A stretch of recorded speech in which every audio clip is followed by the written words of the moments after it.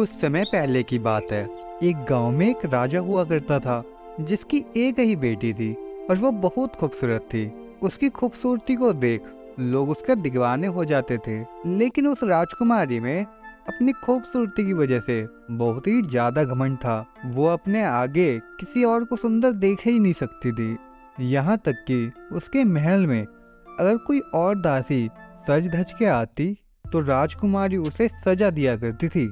क्योंकि राजकुमारी ये बात कभी नहीं चाहती थी कि कोई और उससे ज़्यादा खूबसूरत दिखे। एक दिन जब वो महल में टहल रही थी तभी उसे एक दासी नज़र आती है जिसे देखकर राजकुमारी गुस्से से कहती है तुम्हारी हिम्मत कैसे हुई मुझसे ज़्यादा सुंदर दिखने की? रा, राजकुमारी मैं तो बचपन से ही ऐसी हूँ। ये तुम्हारी आँखें मुझसे ज़्यादा सुंदर है। मेरे होते हुए इस दुनिया में मुझसे ज़्यादा कोई सुंदर हो मैं ऐसा बर्दाश्त नहीं कर सकती। सिपाहियों इस लड़की को महल के जेल में डाल दो। मुझे इस लड़की की शक्ल दोबारा नहीं देखनी है। समझे तुम? लेकिन राजकुमारी जी मेरी गलती क्या है? आप मेरे साथ ऐसा क्यों कर रही हैं? तुम मुझसे ज़्यादा सुंदर हो यही तुम्हारी गलती है। इतना कहकर राजकुमारी उस लड़की को जेल में डलवा देती हैं।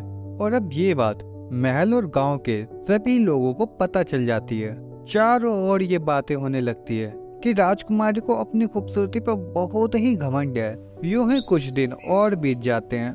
एक दिन राजकुमारी अपने गुलाबों के बागान में टहल रही थी, जहाँ उसे बहुत ही सुंदर गुलाब नज़र आता है, जिन्हें देखकर राजकुमारी कहती है, अरे वाह, ये गुलाब तो बहुत सुंदर है, लेकिन इन गुलाबों की जगह इस बगीचे में नहीं है। मेरे बालों में है। इसे लगाने से मेरी सुंदरता और भी बढ़ जाएगी। एक गुलाब अपने बालों में लगा ही लेती हूँ। राजकुमारी जैसे ही उस गुलाब को तोड़ने जाती है तभी उस गुलाब से आवाज़ आती है। राजकुमारी मुझे मत तोड़ो। मेरे छोटे छोटे बच्चे हैं। उन्हें मेरी ज़रूरत है। तुम तो मेरे साथ ये मत करो। ये क्या हो रहा है? आखिर ये गुलाब बोल कैसे सकता है? राजकुमारी हम जादुई गुलाब हैं। हम आपसे बात कर सकते हैं। प्लीज़ मुझे मत तोड़ो। मेरा परिवार मेरे बिना अधूरा हो जाएगा। क्या ये सच है? एक गुलाब भला कैसे बोल सकता है? खैर जो भी हो मुझे तो ये गुलाब अपने बालों में लगाना है और सुंदर दिखना है। ये कहकर राजकुमारी उस गुलाब को तोड़ लेती है। जैसे ही इस गुलाब को राजकुमारी अपने बालों में लगाती है वैसे ही वो खूबसूरत से बदसूरत हो जाती है। और ये देखकर राजकुमारी कहती है हे भगवान ये सब क्या हुआ मुझे? मैं अचानक इतनी काली कैसे हो गई? इतना कहकर राजकुमारी भागते हुए नदी के पास जाती है और अपने चेहरे को पानी में देखते हुए कहती है अरे मेरा चेहरा? मेरे चेहरे पे इतने दाने कैसे निकल गए? और मैं इतनी बूढ़ी कैसे दिखने लगी? राजकुमारी इतना कहती है तभी उसके बालों में लगा जादुई गुलाब कहता है तुम्हारे साथ जो हुआ है वो बिल्कुल ठीक हुआ है। तुम्हें अपनी इस खूबसूरती पर बहुत घमंड था ना? और तुमने मुझसे मेरा परिवार छीना और वैसे ही तुम्हारी भी खूबसूरती छीन गई है। अब तुम ज़िंदगी भर ऐसे ही बदसूरत रहोगी। नहीं नहीं ऐसा नहीं हो सकता। मुझे माफ़ कर दो जादुई गुलाब। और मुझे मेरी खूबसूरती लौटा दो। मैं इस बदसूरत चेहरे के साथ जी नहीं पाऊँगी। मुझे माफ़ कर दो जादुई गुलाब।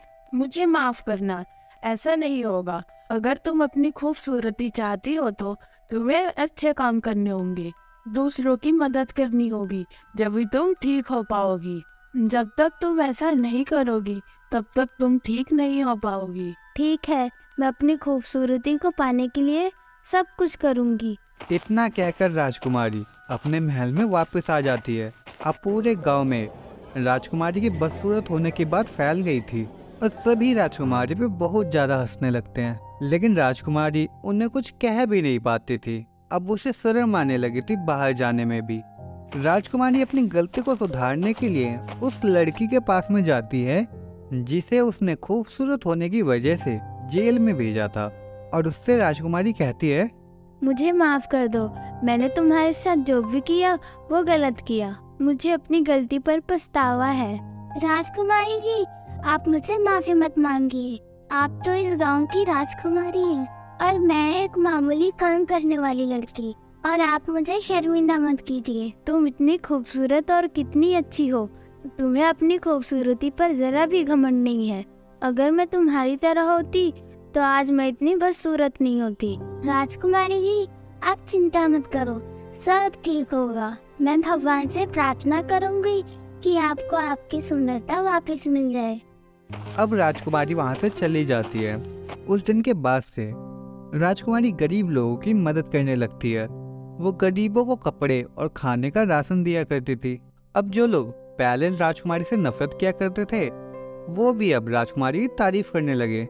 लेकिन ये सब करते हुए राजकुमारी को बहुत ज़्यादा दिन हो चुके थे और राजकुमारी अब तक ठीक नहीं हुई थी। और एक दिन फिर से राजकुमारी जादुई गुलाब के पास जाती है और उसे रोते हुए कहती है जादुई गुलाब इतना समय हो गया है तुम्हारे कहने पर मैंने सबकी मदद की लेकिन अभी तक मुझे मेरी सुंदरता वापस नहीं मिली। मैं क्या करूँ?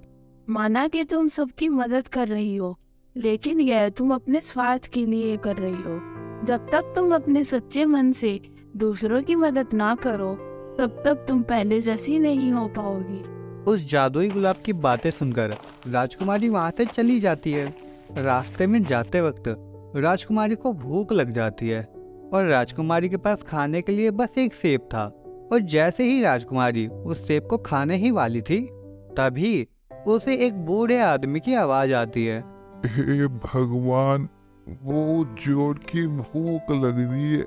कुछ खाने को मिल जाता तो भूख मिट जाती। क्या हुआ? आप यहाँ ऐसे क्यों बैठे हैं? राजकुमारी जी आप मुझे माफ़ कर दीजिए। मैं आपके रास्ते में आ गया। मुझे सजा मत दीजिएगा।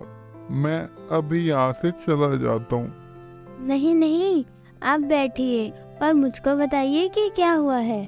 राजकुमारी जी मैंने पिछले कई दिनों से कुछ नहीं खाया है इसलिए मुझे चक्कर आ गए और मैं यहाँ पर बैठ गया। क्या आपने कुछ भी नहीं खाया? ये ले लीजिए ये सेब आप खा लीजिए। इतना कहकर राजकुमारी अपना सेब उस बूढ़े आदमी को दे देती है और वो बूढ़ा आदमी अपनी भूख मिटाता है। इतना ही नहीं वो उस आदमी को अपने साथ महल में भी लेके जाती है और उसे बहुत कुछ खाने को देती है। और खाना खाने के बाद वो बूढ़ा आदमी खाना खाने के बाद राजकुमारी को ढेर सारी दुआएँ देता है। अब राजकुमारी दोबारा से एक बार खुद को आईने में देखकर कहती है अब तो मैंने उम्मीद छोड़ दी है कि मैं पहले जैसी हो पाऊँगी। अब तो मुझे इस काले चेहरे के साथ ज़िंदगी बितानी पड़ेगी। इतना कहकर राजकुमारी सो जाती है। अगली सुबह जब राजकुमारी उठती है तो वो खुद के हाथों को देखकर एकदम ही हैरान हो जाती है, क्योंकि वो पहले जैसी खूबसूरत हो चुकी थी। राजकुमारी दौड़ के आईने के पास जाती है और वो देखती है कि वो वापस से खूबसूरत हो गई थी। राजकुमारी को समझ ही में नहीं आता कि ये सब कैसे ठीक हो गया।